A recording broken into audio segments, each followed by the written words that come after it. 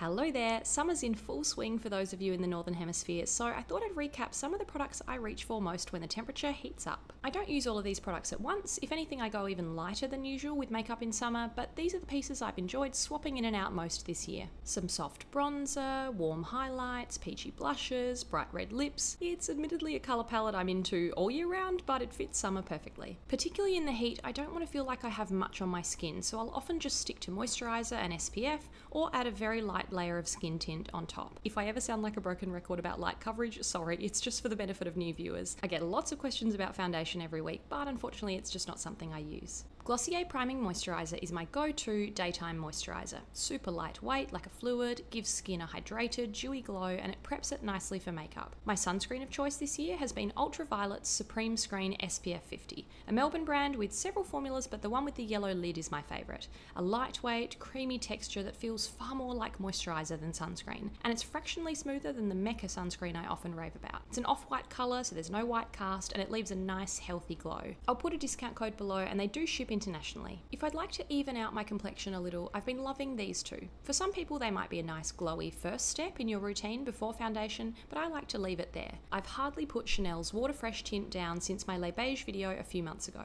It's beautifully sheer and water light with next to no coverage, it just gives skin a healthy radiance. I use half a pump or one pump for my whole face, so it looks more concentrated on my hand than it does in real life. I'm also a big fan of glowy based products, but wearing them on their own just to brighten up the face. By Terry's Cellularose Brightening CC Serum was a new discovery this year and it's heavenly, so luxurious to use and beautiful on the skin. Apricot Glow is my favourite for a slightly warmer look in summer. I don't find it shimmery and it's very sheer, just a lovely way to create a naturally luminous look. Regular viewers will be no stranger to these four products. I like to mix it up in other areas, but I've found my holy grail concealers and brow products, so I've called off the search. They'll always stay the same. A brightening concealer, either Chanel Eclat Lumiere or the famous YSL Touche Eclat, a click pen with a smooth, light fluid inside that easily brightens under eyes. Clé de Peau concealer, which is the only product I've used for spot concealing for years. It's high coverage but creamy, blends well, and always looks like skin. This very battered Charlotte Tilbury brow lift in Supermodel is my favourite brow pencil. You can can draw on small strokes, but my brows are fairly dark anyway, so I turn it sideways and lightly shade to add a little bit more definition. Then Glossier Boy Brow to lock it all in. I'll be stocking up on my travels because I've run out of this one, but this tiny brush is a great way to spread the creamy pomade and comfortably keep your brows in place. To add a bit of warmth, a new find this year was the Fluff bronzing powder and kabuki brush from Melbourne. Fluff describes themselves as casual cosmetics, and I love their approach that celebrates natural beauty. I usually find cream bronzers easier to apply, but this super fine powder has been foolproof, easy to lightly dust all over the face using the dense brush. They do only have this one shade, so I hope we'll see more from them in future.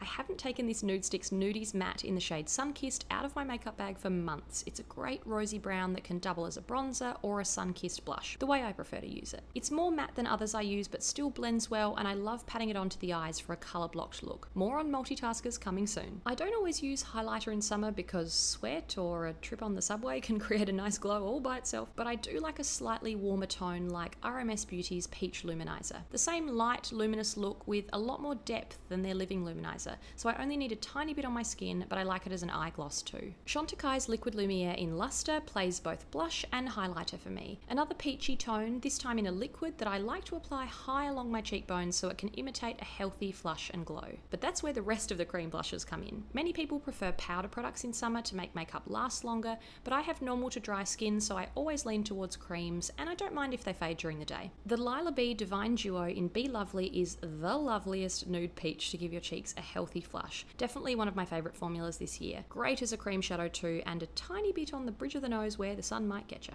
For a really dewy look from down under, Australia's best beauty retailer, Mecca Cosmetica, launched this Hydra Cheek Tint Duo. A cream highlighter on one side, a smooth cream blush on the other. It's basically me in makeup form. There are three shades, but rose is my favourite for a really natural flush. The formula is sheer, creamy, dewy, light, leaves a great glow, ticks all the boxes. Having an Olio e Osso balm in my handbag is one of the easiest ways to lightly tint lips and cheeks. Number 13 Poppy is a rich red with a tiny bit of shimmer that instantly creates that sun kissed, post gym, day at the beach sort of blush. I've also been enjoying Chantecaille's Cheek Gelée in Lively, a vibrant peachy orange liquid blush that shears out for a perfectly natural look. You can see it's been all about glowy blushes for me this summer. I also let the coral peachy colour mood continue onto the eyes. I picked up a lot of Colourpop shadows on my travels last year, and their creamy Super Shock formula is such a standout. Shop is a vibrant coral, so I only pick up a tiny bit with my finger and shear it out for a fun pop of colour. Sadly, not on their website anymore, but I hope they bring it back. So many great, bright, summery shades to choose from, so I'll leave a discount code below too.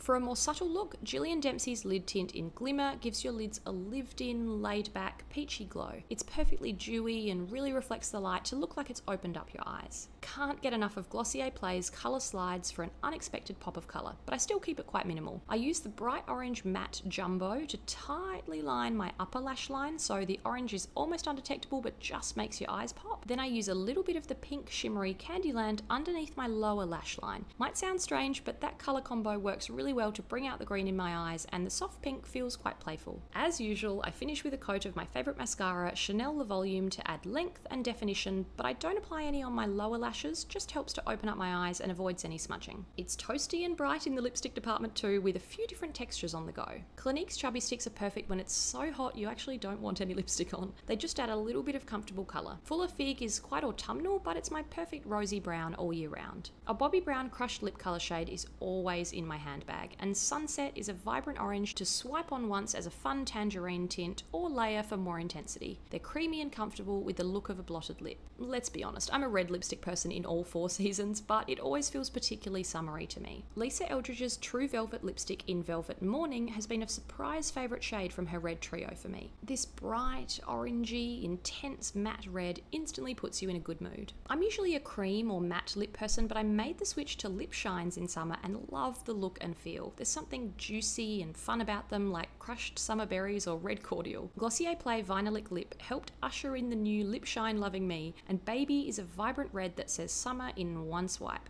creamy and comfortable, not sticky, with a tasty apricot flavour. Bobbi Brown's shiny crushed counterpart is the Liquid Lip, which is not at all a liquid lipstick, really more of a highly pigmented, balmy gloss. The shade name Cherry Crush just sounds like summer, doesn't it? Big, bright, juicy red. For something more luxe with more colour payoff too, the By Terry Lip Expert Shines glide on like a dream and feel really creamy. So many reds to choose from, Terry's definitely a woman after my own heart, but the shade My Red is a great, bold, bright raspberry. Whew, that was a lot, but summer's a fun time to play with makeup and I'm always swapping elements in and out. Feeling too hot and bothered? Maybe just wear a bright lip. Or having a day at the beach? Could just be SPF and cream blush and you're done. I'd love to hear what you've been reaching for most this summer. What sort of colours and textures have you been experimenting with? Any products you can't put down? Please share in the comments. Thanks for watching. See you next time.